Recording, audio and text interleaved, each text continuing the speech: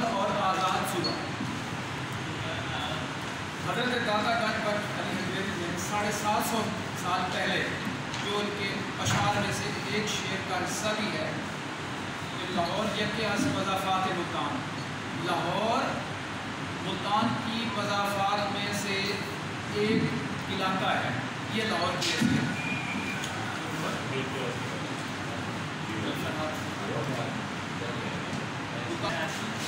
ملتان کبھی علیحدہ سے انڈیپینڈنٹ صوبہ ہوا کرتا تھا جو کہ سندھ سے مکران تک پھیلا ہوا تھا۔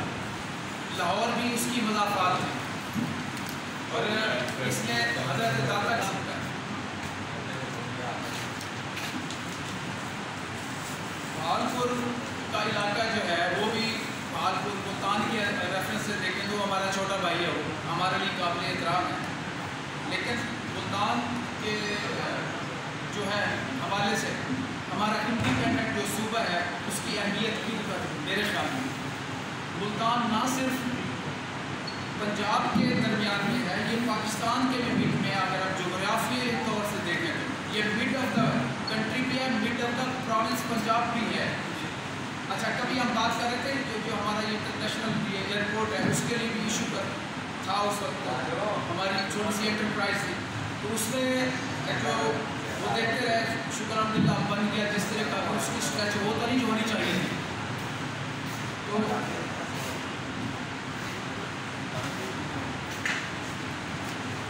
ہم سے جو ایک ساتھ چلتے ہیں۔ ان کو جاتے جاتے تو ڈیڑھ دن لگ جائے گا، پھر آپ کو اسٹیج کیسے کریں اب اپنے رائٹس کے لیے۔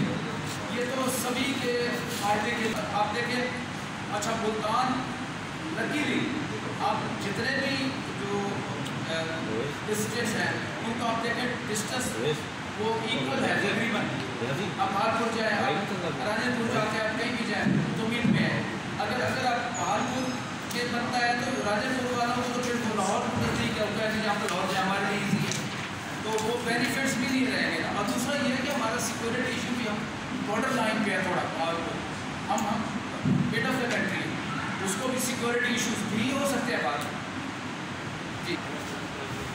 تو ایک بندے کی بینیفٹس نہیں ہے اس میں سنگل انڈیویجل چاہے M P A M L A ہے یا کوئی ہماری طرح کا عام لوگ ہیں لائرس ہو گیا جو بھی آپ دیکھیں ہر کمیونٹی سے۔ جتنے سبھی کو جی جتنے M P M L A ہیں ہاں۔ کیا سمجھتے ہیں کہ وہ اس میں کوئی کردار ادا نہیں کر رہے اسٹیٹ کے؟ حوالے صوبے کے حوالے سے۔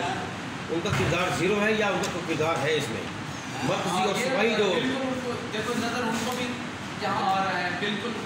اب صاف ظاہر ہے ایک اب جو لوگوں میں نا اویئرنیس بڑھ رہی ہے جس میں سب سے بڑا حصہ آپ لوگوں کا میڈیا کا ہے۔ آپ لوگوں نے پڑھا دیا ہے چاہے یونیورسٹی کالج میں کالجز میں اتنا نہ پڑھا ہے لیکن آپ لوگوں نے چاہے آپ کا پرنٹ میڈیا ہے یا آپ کا ٹیلی ویژن ہے آپ لوگوں نے اس شعور اجاگر کر دیا۔ آپ لوگ کہتے ہیں یار ہمارے بھی رائٹس ہیں آپ نے نہیں یہاں رہنا ہے ہمارے بچوں نے یہاں پڑھنا ہے اگر آپ کی پروونس یہاں پہ ہے تو یونیورسٹیز بنیں گی آپ کی کالجز بنیں گے روڈ اچھے ہوں گے۔ اچھا جاب جو ہے وہ جاب کریٹ ہوں گے۔ ہمارا بھی رائٹ ہے۔ ہمیں لاہور سے کوئی آپ کے ساتھ جو بھی کوئی کمبل بوسا کرے گا یا کوئی ایسی بات کرے گا وہ چیز چھپنے والی نہیں ہے۔ اور لوگ دیکھ رہے ہیں۔ اور صاف ظاہر ہے سبھی لوگ جنہوں نے الیکٹ ہونا ہے جو M P M L A سے کسی بھی پارٹی سے۔ بھلے سے کسی پارٹی سے چاہے وہ اچھا وہ لوگ عوام بیٹھے تھے نہیں کہ یار ہمارے ساتھ کیا کیا؟ کس